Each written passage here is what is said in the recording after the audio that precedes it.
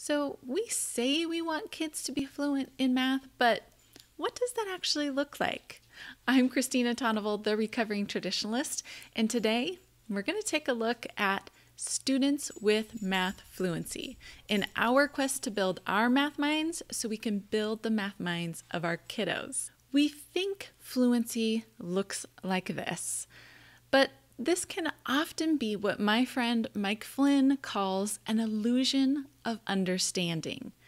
The kids can get the right answer, but are they really understanding what's going on? And as soon as we extend that problem, we see that oh, they only have a surface level of understanding. Now, in prior videos in this series, I've talked about how we define fluency, but in this video, I'd like you to actually see examples of kids with fluency. Now, remember, fluency is not just being fast and accurate, it is also about being a flexible thinker.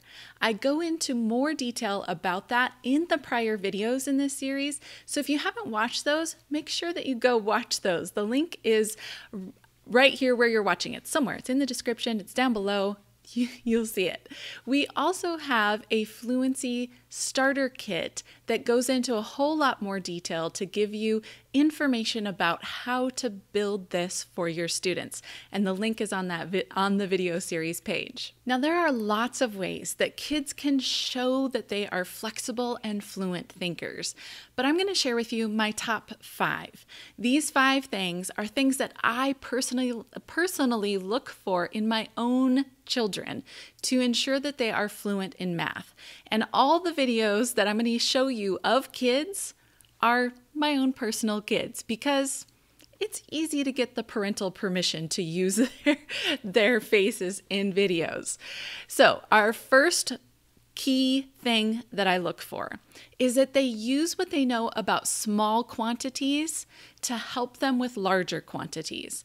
This video that I'm going to show you is of my oldest son when he was in first grade.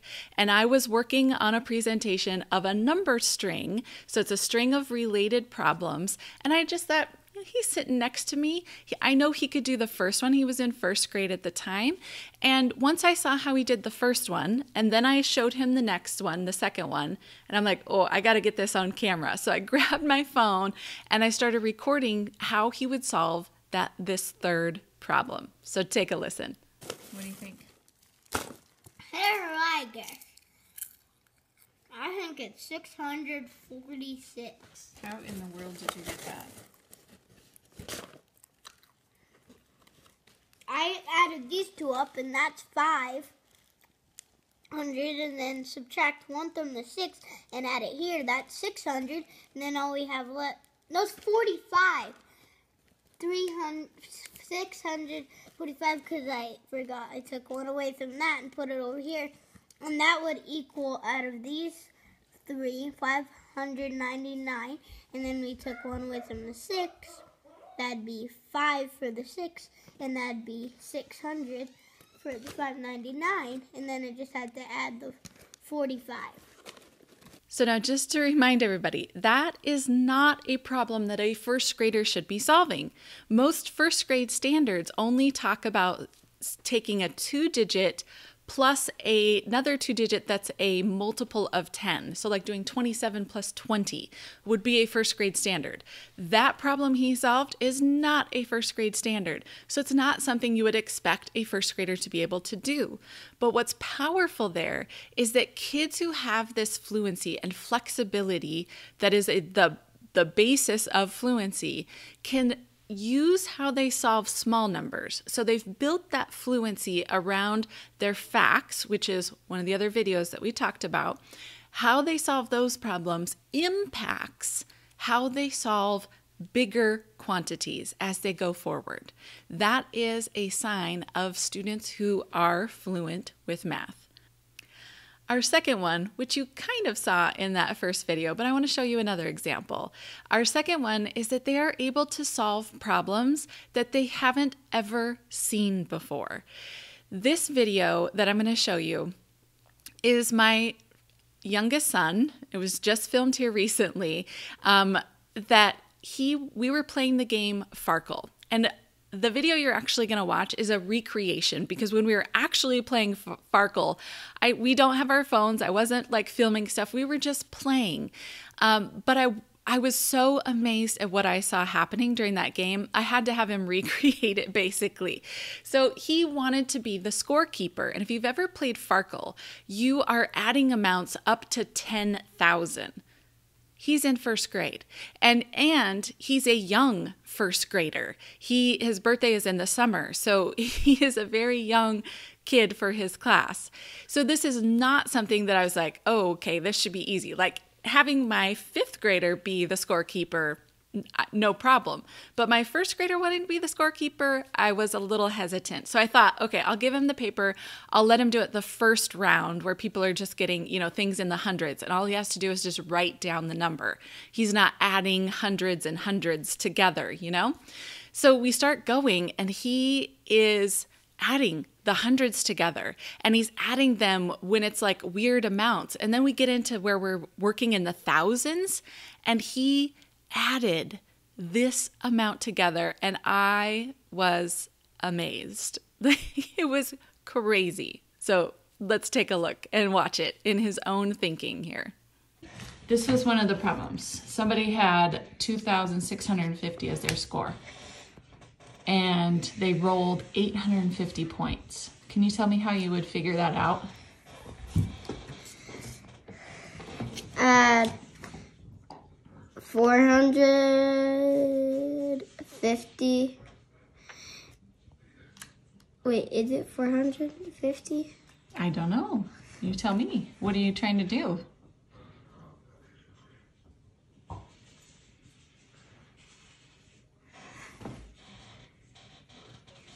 Three hundred fifty, and then I have, and then I have five hundred 450 left. And then I add the one, the 350 to it.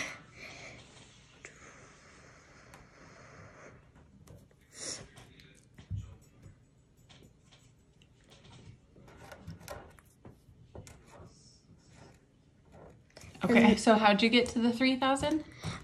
350. Okay, and they scored 850. Now I need 500 more. So how much would their score be now? 300 and 500. 300, 3,500. 3,500. Yeah.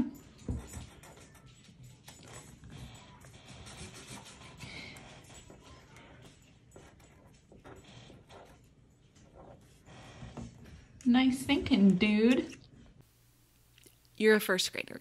Like that that should not be the way that kids in first grade like that's not what we expect first graders. And like i was telling my mom this story. I'm like like in first grade we're excited if a kid writes down 250 just correctly and not 20050 right? Like that's a big accomplishment sometimes in first grade is to just get them to write numbers in the hundreds and thousands correctly.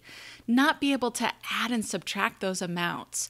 But they he wasn't it's not like he's ever been taught that before. He's using his understanding of numbers his flexibility his number sense and applying it to a new situation that he's never seen before Again, that's the power of building fluency for our kids. All right, number three. This one is, it seems obvious to me because I do it all the time. And there's a lot of people who don't. So, number three is all about that kids will see math all around them. They see the mathematical problems that appear in their daily lives. And not every child sees the math in their daily lives. So, this video was when we were at a drive through at a coffee, my favorite coffee shop. Shout out to Dutch Brothers. Um, but I had ordered a bunch of smoothies for our big family. And at the time, I was only buying stuff with cash. I carried cash with me to buy groceries, everything. So all I had when we were in the coffee drive up was a $100 bill. And my son saw this problem on his own And so you're going to watch the problem he came up with and how he figured it out. That out? Um, my mom was buying some smoothies for $15 and she didn't have anything less than a hundred. So if they'll take the hundred, she would get 85 back. And how I figured that out was I went 110 back from 100 would be 90, then 5 more would be 15, then 5 more back would be 85. Cool strategy, dude. So, again, this one is all about helping kids see math all around them, not just inside of a textbook. Fluent mathematicians don't see math as a problem to solve, they see math as the vehicle to solve problems in their lives. Okay, Number four, what I look for is that they use problems they know to help them with problems they don't. So you've seen that kind of throughout all of these videos pretty much. But here's another example of one of my other sons. He was working on a worksheet that was sent home and he was seeing connections between problems and he was telling me about it. Well, his younger son was a kindergartner at the time and was sitting at the table and was catching on to what he was seeing. And so I wanted to video to see, because he was like, I'm going to solve this next one. So I videoed what he saw in these problems. Here you go. What do you think, what do you think this last one is?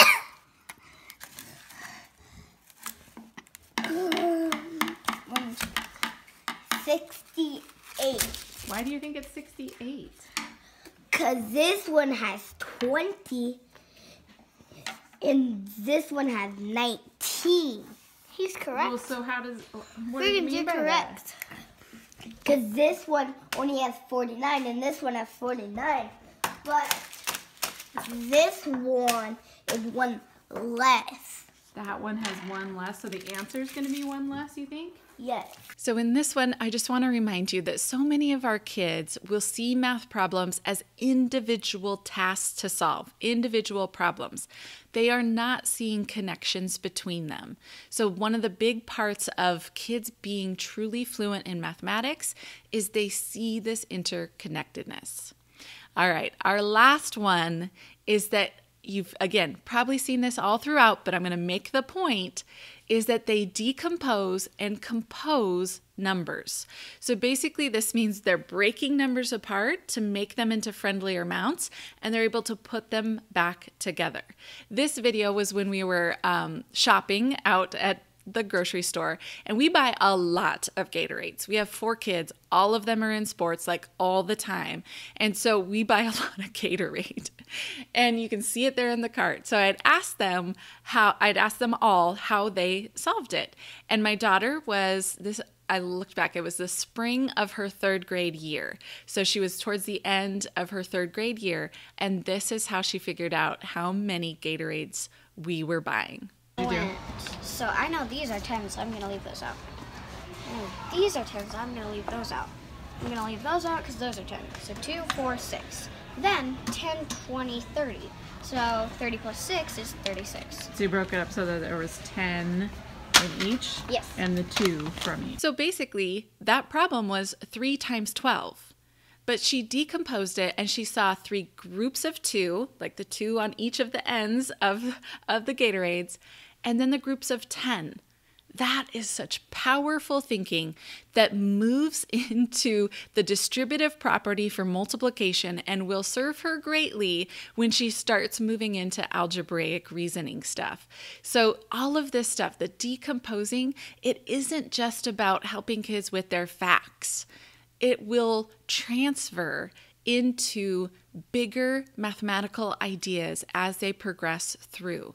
And that's really the string that ties it all together. It so much of math is just about getting the right answer. But the right answer is important, but how they get there is also very, very important and will impact how they perceive mathematics throughout all that they do. So, I want to encourage you to go download the starter kit that I have for you that gives you ideas about how to build this for students, what it actually is. Okay? It starts off with helping you decide is that flexibility really important to you to help build the fluency? Because you guys are bombarded with so much that you have to teach, especially right now. You're trying to make decisions about what is really, really important. And so, is building this flexibility for kids important? And if it is, I think it is, then the rest of that kit will really help you out. We talk about how to help build that for their basic facts and then activities and things that you can do to really help build this. All right, I hope that this video has helped you build your math mind so you can go build the math minds of your kiddos. Have a great day.